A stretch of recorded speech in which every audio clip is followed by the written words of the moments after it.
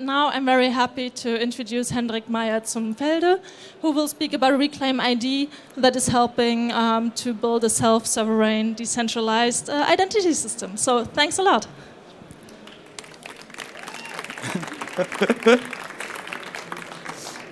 Hello, everybody. Hello. Hello, everybody. And first of all, thank you for making this speech possible. My name is Hendrik Meyer zum Felde, and today I want to present to you a tool which was developed at the institute where my colleagues and me work. Um, we work at the Fraunhofer AISEC. It's an IT security um, institute located in Munich, working in close relation with the Technical University of Munich. And um, my colleague Martin Schanzenbach is the leading programmer of Reclaim ID. And um, let's get started. But um, before I present the tool itself, I want to tell you something about the motivation behind the tool. So um, we all know identity providers. Most of us have may, may already have used some of these. And um, basically, if you think of things like Facebook or Google, it allows you to perform a login at other websites or services. And the first advantage of identity providers is, of course, um, comfort.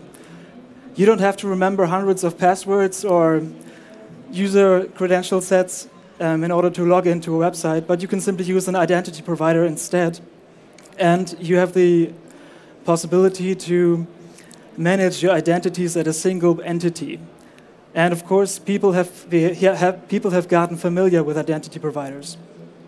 Another main advantage of identity providers is the liability, because um, some websites or some parties may suffer from legal issues, and it's easier to outsource the protection of identity data to an identity provider. And um, what you can see here is basi basically a, a scheme which um, shows uh, some measurements taken in the year of 2014 and 15 and it shows on the left-hand side what percentage of identities are stored at which identity provider services. And the main point that you can easily see is, of course, Facebook has about maybe more than 60% of all the identities that are used on the web.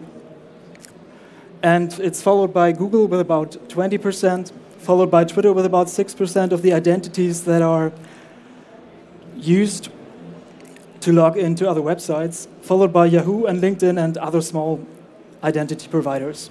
And the main point, what you can see here immediately, is basically um, the market share of identities is highly focused on very few companies. So basically, um, Facebook and Google control more than 80% of the identities.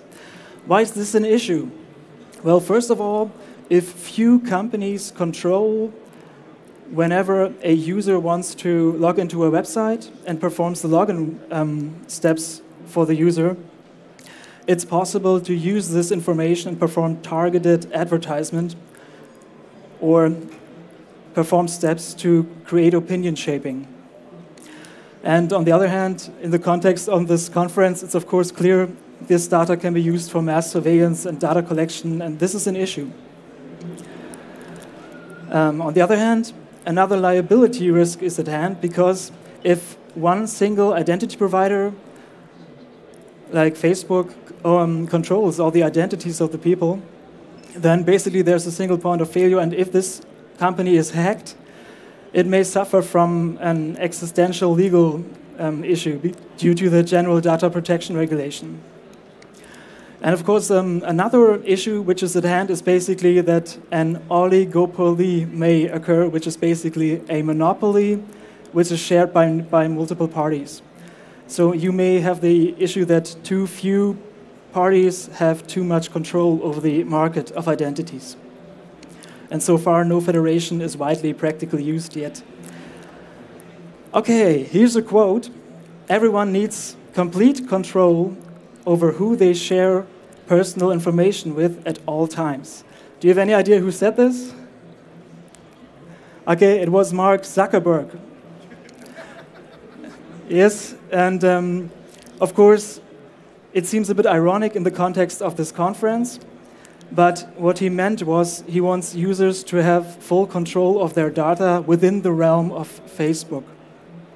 but we want to break out of this realm of a third party that we want to trust. We do not want to trust a third party at this point. And uh, may, some of you, I mean, most of you probably already heard about stories like these. Um, just an incident um, Yahoo, a couple of years ago, lost a billion credentials of users. And um, some other incidents like the Facebook Cambridge Analytica scandal, these things just reveal that these things occur often. I mean, that it's a real problem that we are dealing with here right now. Okay, so for the tool that we created, the primary objective is this. We want users to exercise their right for digital self-determination. We do not want to have a third party involved for the management of the identity or the data sharing. We want it to be open, free, and we want to use a decentralized service, service which is not under the control of a single organization or a business or something like that. And we want the software itself to remain free. And here comes the name. Basically, we want users to empower themselves to reclaim control over their digital identities. That's why the tool is called Reclaim ID. Okay, before we get further to the tool, um, it's important to understand what the purpose of an identity provider is. And basically, there are two different main areas. The first main area covers the following things. They are partly already mentioned. Um, first of all, you want to provision your identity to other services, you want to maintain control, you want to allow the management of the identities. And you want to be able to share your personal data with third parties, and you want to be able to update your information, and you want to enforce your authorization in the service that you're using. The second main part is about identity information verification and the attestation about it. For instance, you may have an email address, and often uh, some identity providers offer an additional service just to attest the email that is used at hand. Or maybe some other service may say this person is actually living in Germany and this is a true fact, for instance. So these two main areas are covered by identity providers, and Reclaim ID focuses on the first area. So we want to solve all the above, I mean, all the, all the tasks that are explained in the first set. And the second part is not yet our department, but we are working on it and I will get to that point later on. Okay, time to introduce Reclaim ID. First of all, Reclaim is a self-sovereign personal data sharing system. And if, you if you know about this realm of software, then you may think of other tools that implement similar behavior. Some other ones are, for, for, are for instance, Sovrin, Uport, or NameID. And um, Sovrin is based on a hyperledger, and it's basically using a permissioned blockchain. And whenever we use a blockchain, then we cannot make it free anymore because at some point there's a fee to pay. So this was not a good option for, um, for the project that we wanted to create. Uport is using Ethereum, which is also a, blo a blockchain. And another downside is that um, the data could not be accessed anymore if the user was offline by third parties that want that actually should share the data. And um, NameID had some good ideas which were actually taken for um, additional steps that we took, but um, the main downside at this point was that all the access had to be performed through one central service, uh, one central server, and this is this is a limitation. And we wanted to create Reclaim in such a way that um, we do not require a blockchain. It should be fully decentralized and it should be possible to access the data of the users in an asynchronous way. So basically, in a nutshell, um, Reclaim ID is first of all a decentralized directory service and it's combined with cryptographic access control. Those are the main elements. Okay.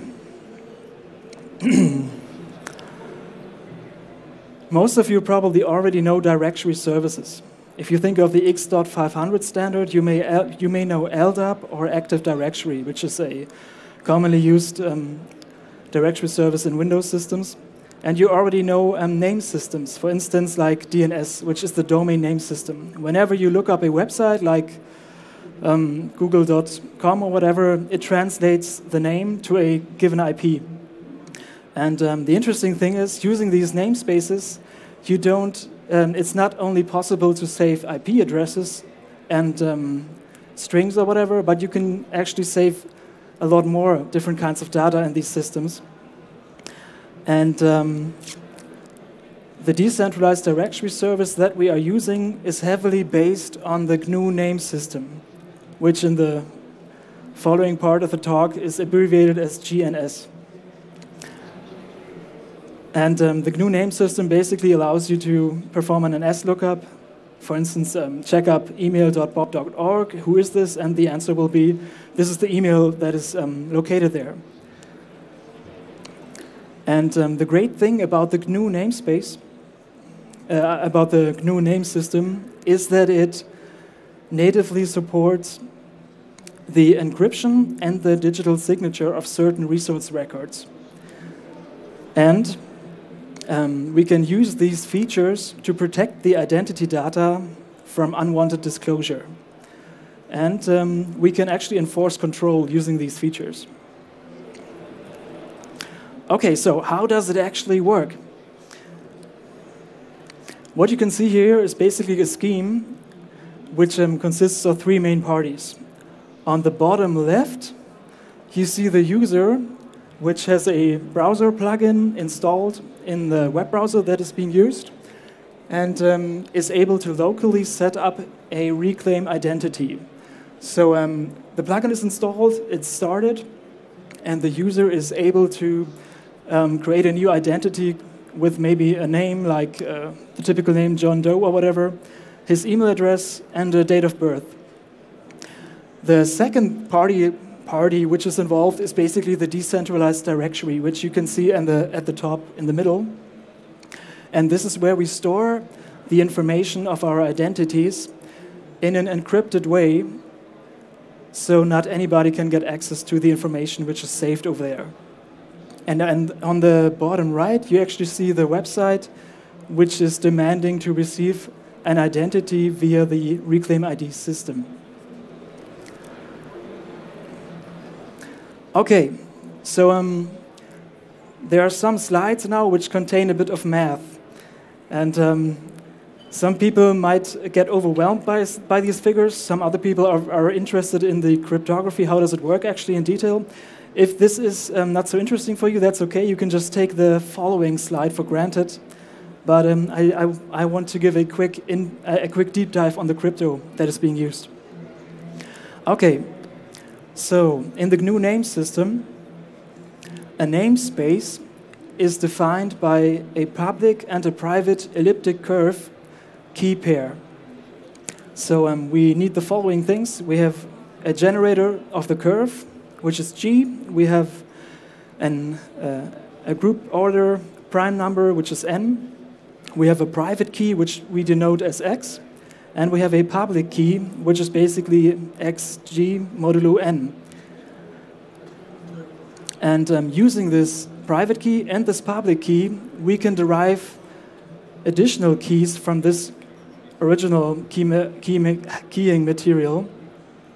And we use this, these derived keys to encrypt and sign our resource records. Afterwards, the encrypted records are published in a distributed hash table under a key called Q. Uh, you can see it in practice later. And um, it is important to note that any peer is able to verify, first of all, the signature, as the corresponding derived public key is also published.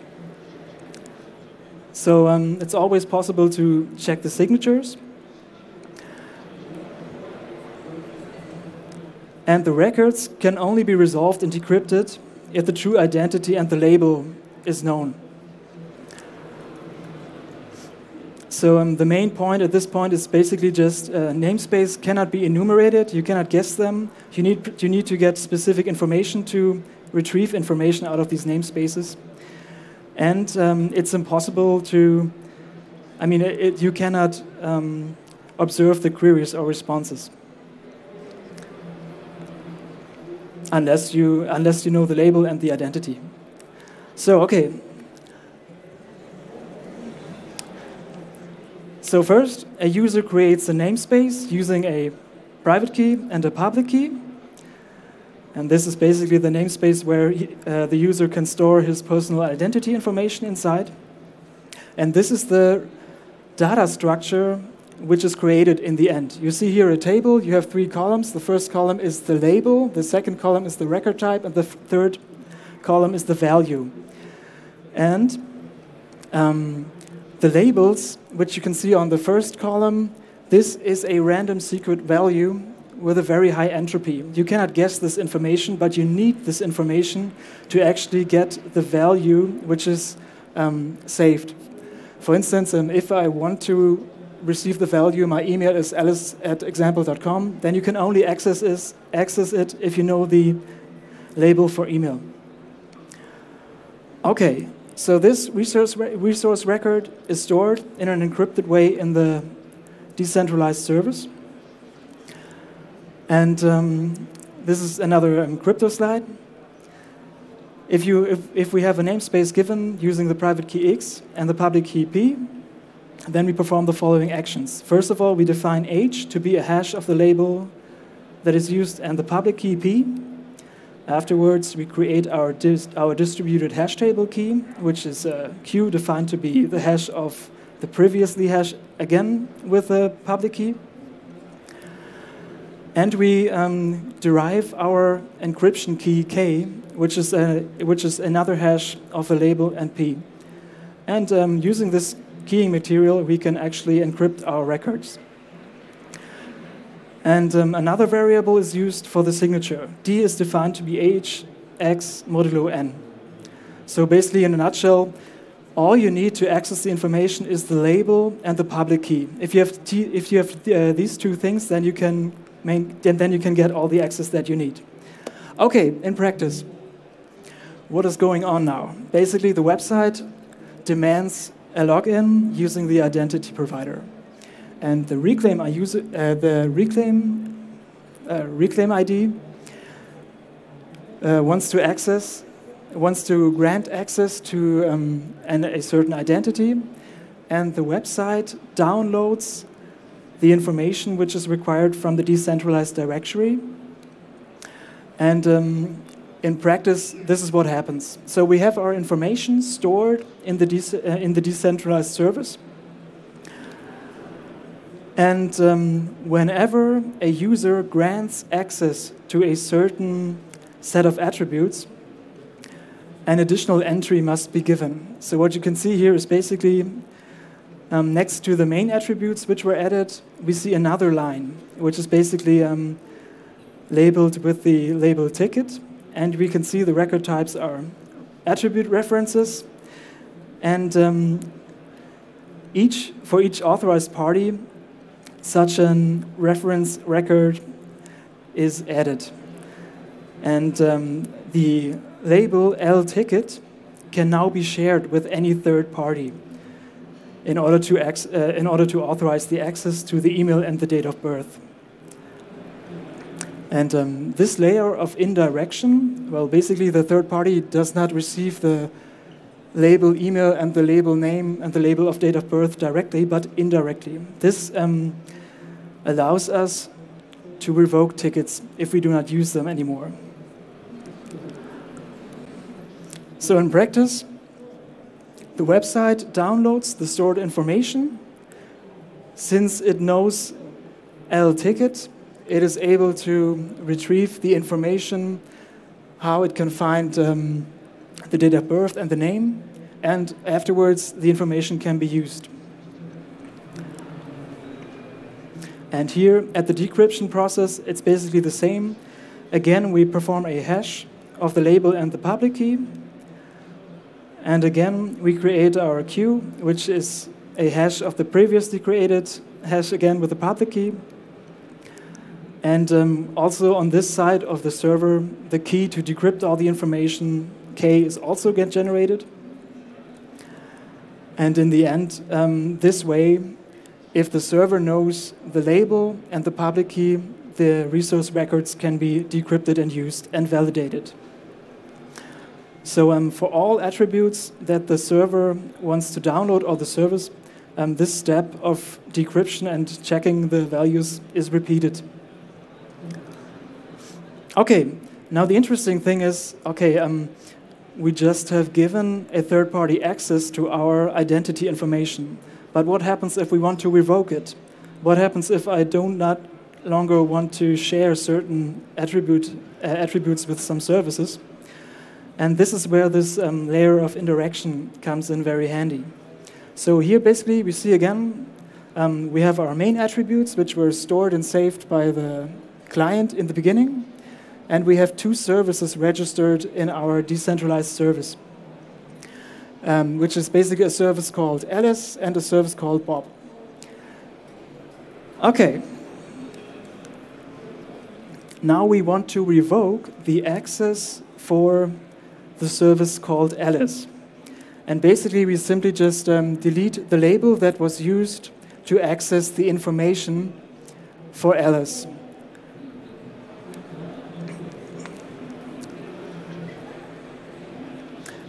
The problem, of course, is um, since Alice beforehand knew what the label of email and label of date of birth was, Alice would, would still be able to access the label, um, it would still be able to access email and um, date of birth.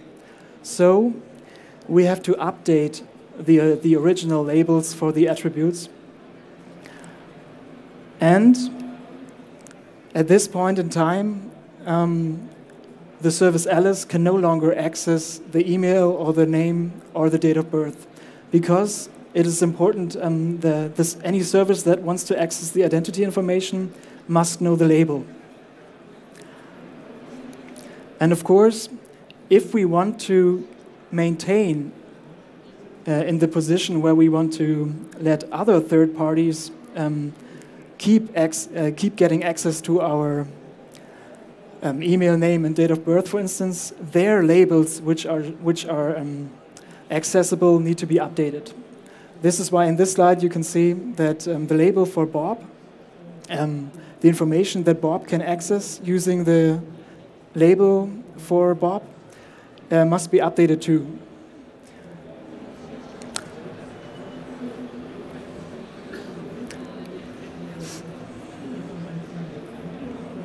And the, the, interesting part is that for this step, no interaction is, in, is required with a third party. Okay, so this is basically how it works. And the reason why the only thing that you need is the label, this is just given by the GNU name system. That's the main feature that is um, provided. Okay, so Reclaim ID implements the OpenID Connect protocol, which is a very widely used standard. And it's already used by websites which um, integrate any other identity provider, like uh, Google or Facebook, and so on. And um, the interesting part is for the end users, the registration process and um, the behavior is completely transparent. That means it's the same. All the crypto cryptographic background things that happen um, are hidden for the user. Okay, time for a quick demo. What you can see here is basically um, a website, and on the right hand top, you see basically we visited the website and um, the user which is shown is anonymous. That basically means we are not logged in at this point of time. And we see it's a message board. So basically, someone like John Doe posted a message, and the website um, allows us to click a button called Reclaim ID. And, you, and by clicking this button, a prompt is created. And this is um, handled by the plugin that must be installed in the browser.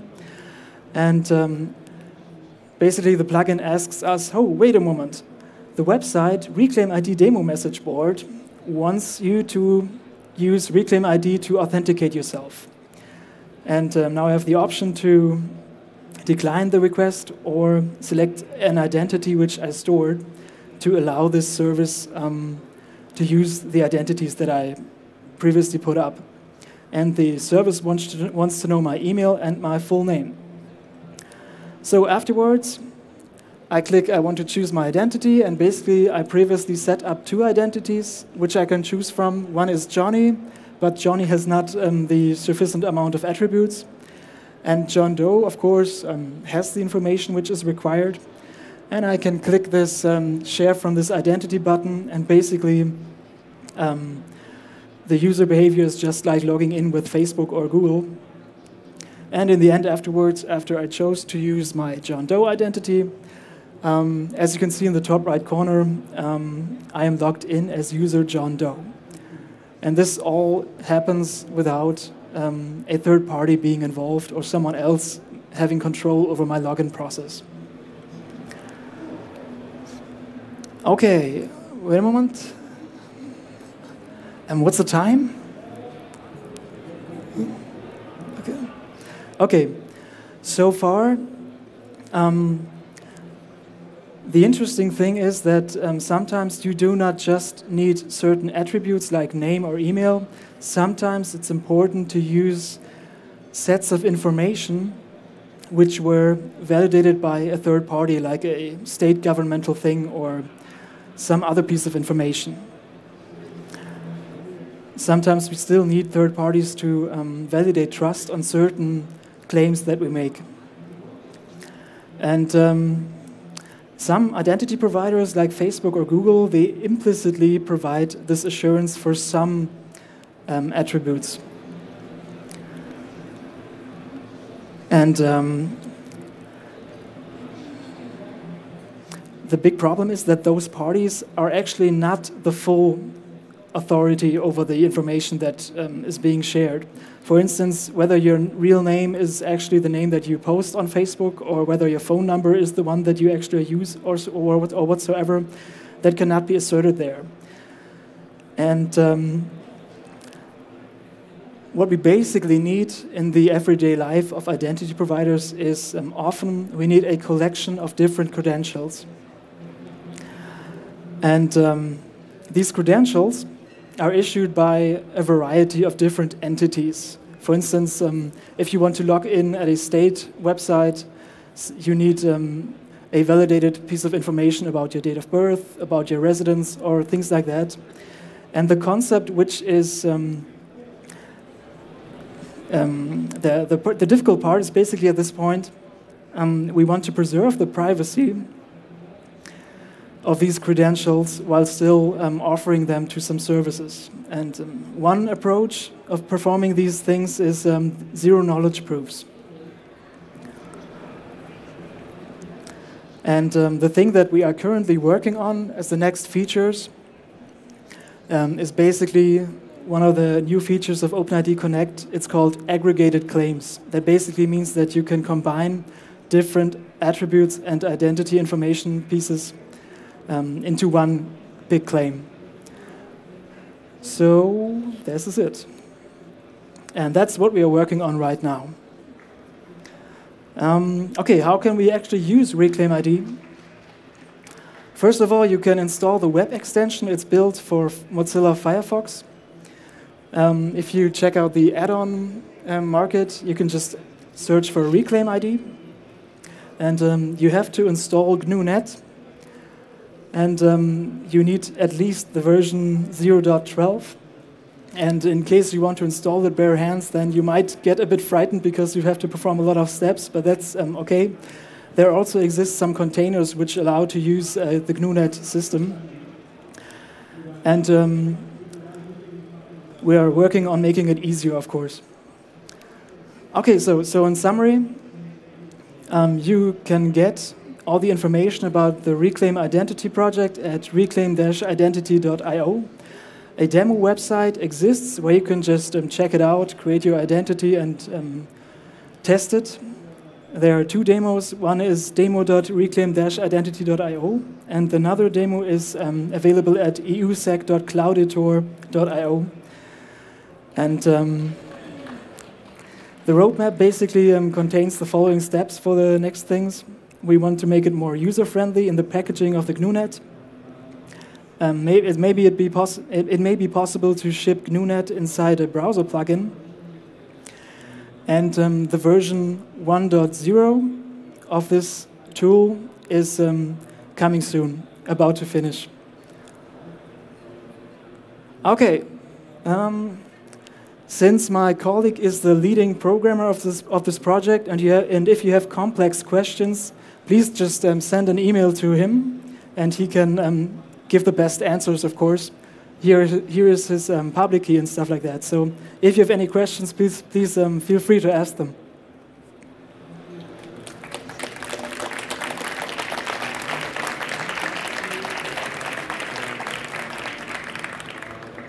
Thank you. And if you have any questions that you want to pose now, just raise your hand and I will give you the microphone. Uh, so first of all, I want to say it sounds like a really great project. I wanted to know how it compares to Tim Berners-Lee project Solid. Is it in any way comparable? Um, to me, the problem is I personally have not checked out Sovrin yet. Um, solid, solid, yeah. yeah. And the thing is just if you send us an email, we can provide you the information. And on the project side, there's some scientific papers where you can look it up in detail, what has been compared. Uh, I wanted to know, couldn't just Alice or like the other party save the data, and then even if I revoke my label, they still keep my data? Well, but then we would not keep control. We want to be able to um, change our data and we want to be able to revoke access to our um, point of maintainability. We want to maintain all of our information at one point, and we want to be able to say our data cannot be accessed anymore. So, um, of course, the website can keep a copy of the information which was stored. That can always be the case. You cannot control that, anyways. If you release information, it can be recorded or in any way. But um, the advantage is that some websites, if they do not have to keep the information which is um, privacy related at the same website, then they do not have to suffer from general data protection regulation issues or things like that. So it's, an, it's a feature to a website to be able to access the information of a user at any time, even if the user is offline Can I just ask another follow? Um, do you plan on implementing Web of Trust, like other users um, um, vouching for other users' attributes, like a decentralized kind of authorization thing? We're planning on implementing something we call Fog of Trust, which is a private version of Web of Trust where the web is not visible to the world. That's a great answer. That's interesting. So I see more questions here in the back. Raise your hands in the meantime. Uh, when I understood you correctly, so uh, hi here. Sorry, um, that's all stored in the uh, underlying distributed uh, hash table of GNUnet, right? So um, how do you ensure actually that the GNUnet nodes just don't keep copies of uh, the database in an older state, so that uh, also the older labels could still be resolved, even if uh, you do this indirection thing?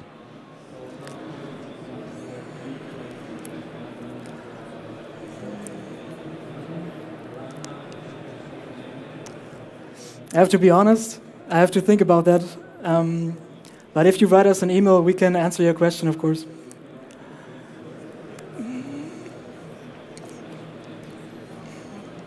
I mean, you, you touched on a little bit with the, the private FOF, but uh, I guess I have two questions. One, isn't the most important thing with these logins, the most valuable thing, the social graph of connecting between people? And like, who are the other people who use this same application? And then the other is like, it doesn't seem useful to know what you claim your email address is or what you claim your phone number is. I want some person who is not you to verify that you have control of those those bits of contact information. Mm-hmm. So that the thing that you mentioned, that you want to be sure that the information that you propose is validated, this is um, dealt with. Wait a moment, I have to go back on the slide. Uh,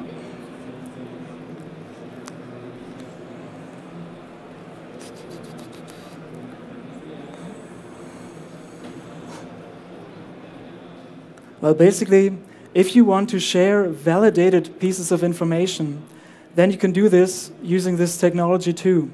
So if you have a set of um, information like this is my email address, it has been validated by a third party, and or maybe by multiple parties. These can also be saved and shared in the decentralized directory. Coming in, please. Microphone. Can you repeat, please?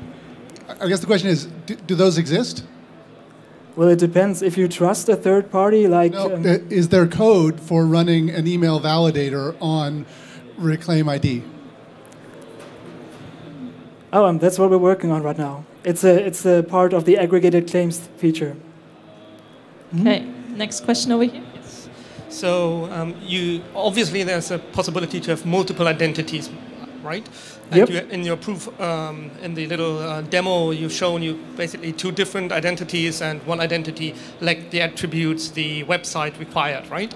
So obviously um, there is a mapping between your actual labels, um, not the not the technical labels, but basically what you had L, email, L, day of birth, etc., etc., and the sort of meaningful name for the attribute that the application requires. So how does this mapping actually work? So I mean, the website basically cares about the day of birth, but they don't know what kind of in, internal label you've given. You can codify it DOB, day of birth, whatever. So how does this mapping work? Okay, so each user that you create also creates a new namespace. So um, the two users that you could see had two different namespaces. And a namespace is defined by one private key and one public key. And if you, if you um, send the public key to the server and the label containing the ticket information for the third party that you want to give trust or uh, that you want to give access to, if these two things are at hand, then the web server can actually retrieve the information from the decentralized service. So um, let me go back to the slide. Here. Um, this namespace belongs to one identity, but the second identity that I could choose has a completely different namespace and another public key. The only two sets of information which, you, which are required to access um, information about an identity is a label and a public key. And you? The question was, where do the, what is the semantics of the prefixes email, name, DOB come? The question was, what about the semantics of name, email, DOB, where that comes from? And I think it comes from, simply from the OpenID standard here. Oh, yes, mhm. indeed. Thanks for the help. Okay, thanks. Next question. Next question here. Uh, so question would be more like, isn't your tool making the identity thefts more easy? Because, for example, Facebook accounts, you can create, create a fake one and use to post things and various malicious. Well, it things. depends on your use case. If you do, no, if you do not want um, a third party to know whenever you are giving access to a certain website or whenever you are visiting a certain website, and you want to take a decentralized approach, this is a good option. But of course, you can make up um, fake accounts. Of course, you can put up any information that you want. But if you want to add information that was attested by another third party, you can do this as well. So the main focus is about getting the identity monopoly, um, the identity oligopoly away from the big um, identity providers and form something independent. Um, sounds pretty nice, but I fear you're running into a scale-up problem um, regarding performance. So presume 1 billion people are using your service. Um, what time do you intend, does it take to, to update the whole decentralized uh, network? Well, I think that's a big question for the GNU name system. Um, can you dive in? Well, DHTs uh, exist that scale logarithmically to the number of nodes, so the performance uh, can scale. I mean, you've seen Kademlia uh, or CAT for, used for BitTorrent. Uh, so these can scale to very large networks. I'm not claiming that the current implementation in GNUnet scales to that level, uh, but I think by the time we get to a billion users, we'll address that problem as well. At least in theory, the complexity, you know, the big O is manageable. Thank you so much. So next one over here. Yeah, just uh, shortly picking up on the question from uh, the person over there. So he asked, doesn't it make uh, identity theft easier? And um, you said, yeah, of course you can create like other identities, no worries. Um, I think the other part of the question is, um, how do you uh, handle well, of course you don't handle, but uh, um, I mean, you have an important aspect of, of end user device security in there. So I would assume that stealing uh, identities from end user devices might be easier actually than stealing them from Facebook. I'm not sure. Um, but uh, do you uh, address that issue somehow or? Uh?